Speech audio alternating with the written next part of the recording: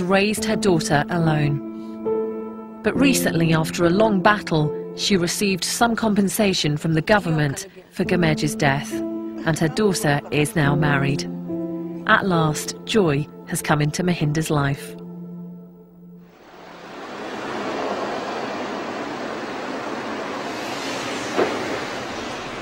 Can you just tell us where we're going? To try and understand how the terrible violence began, I'm with Ashok Vahi, a news photographer based in New Delhi. In 1984, he was at the hospital where Indira Gandhi was taken to get shots of the crowd outside. But then he came across a very different story.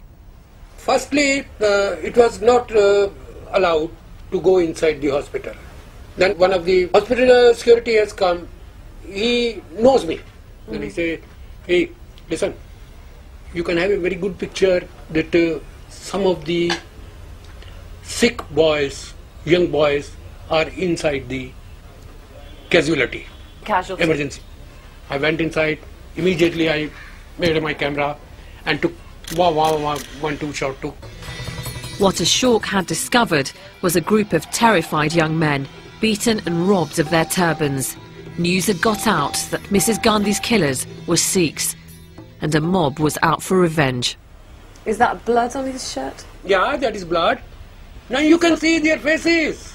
Mm-hmm. See this boy. See their eyes. How they feel. Mm-hmm. If we go out, huge crowd is there. They will be again attacked by public.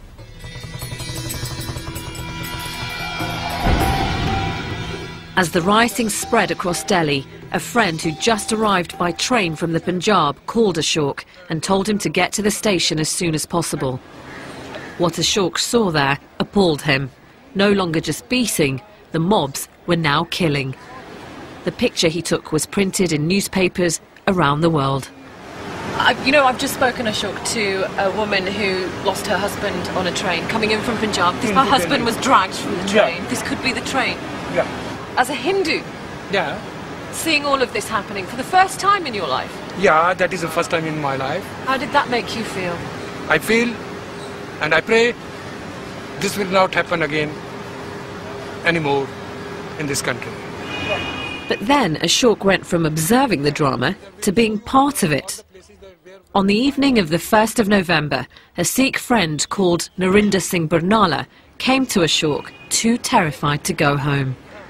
He realised that the only option was to hide his friend in his tiny dark room. Yeah, the, in the night we put some newspapers. You just put some newspapers for him to sleep on. Yeah, it's very small, but whether it is big or whether it is small, we have to manage. We have to save his life.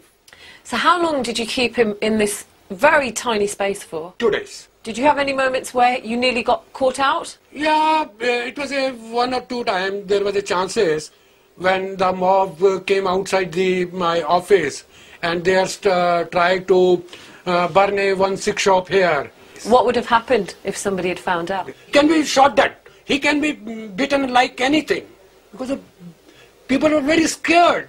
So standing in this space after 25 years, Yeah. how does it make you feel talking about I this? feel proud of me that I have saved a one life. I have saved my friend's life. I'm proud of me. I'm proud of you. Thank you. you. Thankfully, Ashok was one of many Hindus whose first thought was to protect Sikh friends and neighbours.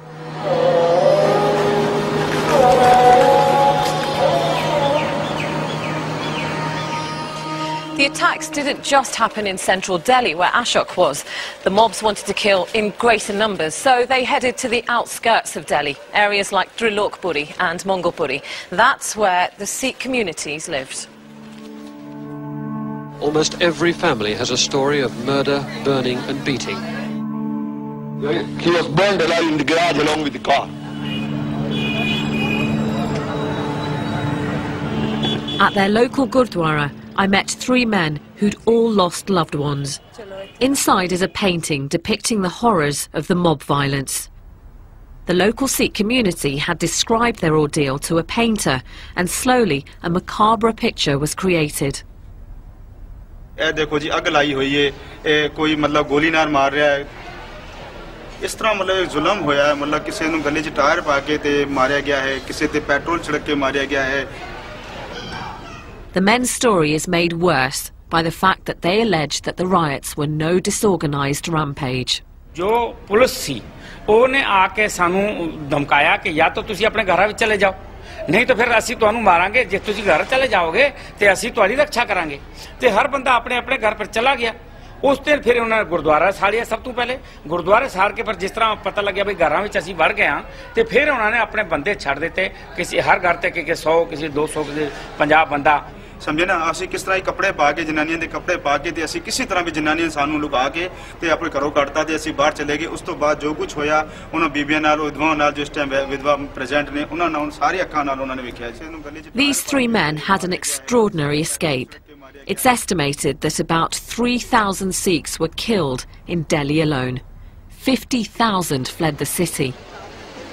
It's chilling to think that the violence may have been made worse by those that should have protected them. The human cost of the barbarity can be found in these block of flats.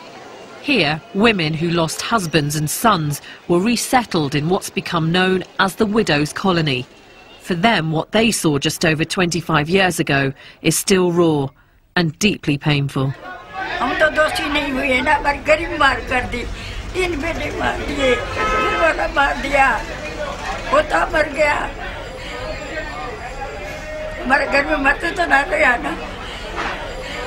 आप बताएँ आपके परिवार पर क्या बीती गई क्या हुआ था? परिवार में चार लड़के। चार लड़कों को मेरे को जला दिया। मट्टी का तेल दुनिया के कमरे में निकलते रहे वो घेर घेर के जलाते रहे। टायर भी लगा दिया बीच में। दोनों के और आग लगा दी। हाय मम्मी हाय पापा हाय मम्मी हाय पापा कर रहे और हम उधर रो रहे हैं। आपने देखा अपनी आँख- से देखा। ये मेरा लड़का मुंडा बड़ा सोटी से मारा लाठी से। ऐसा सो रहा लड़का हमारा। दिन भर दिन आपकी ज़िंदगी आसान होती है कि नहीं? जब हम हमारा अंतकाल होएगा ना ये दुख तो तभी भूलने वाला बेटा जिंदगी में तो भूलने वाला ही नहीं ये तो नहीं भूल सकते I didn't realise it was going to get tougher this journey. Um, talking to families who have lost several generations, sons, husbands, grandfathers, and all in the name of religion, it makes me feel sick to the stomach. I was just sitting there thinking, for me personally, my dad is my rock. I can't imagine my life without a father figure, without my dad. I can't imagine my life without my dad. And um, and they've lost all their their their male figures in their family, and that's really hit me more than anything.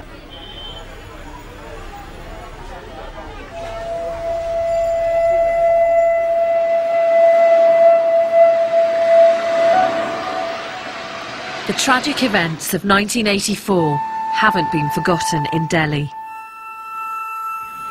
I've been told of a simple ceremony taking place that marks the year in a practical and moving way. Hello, Sat Sri Akal. Harvinder Phoolka is a lawyer who's devoted most of his career to campaigning for justice for those who've lost relatives in the riots. He's behind a scheme to plant 25,000 trees right across Delhi. This is in memory of those who were killed in 1984 and so that their memory goes into the history. They will be remembered for the 100 years when these trees survive and they grow up. It Feels like a very positive thing that we're doing Yes. here. Harvinder then invited me to plant a tree. I knew in whose memory I wanted to dedicate it. Well, thanks for letting me do this because I'm doing this for Mahinder Kaur, whose husband was killed on a train, and all the other victims that I've met along this journey, really, for their strength. Put a special mark on this so that I recognise this when I come back.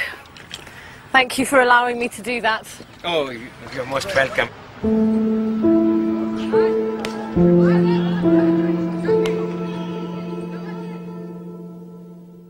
One One group had tried to take refuge in their temple.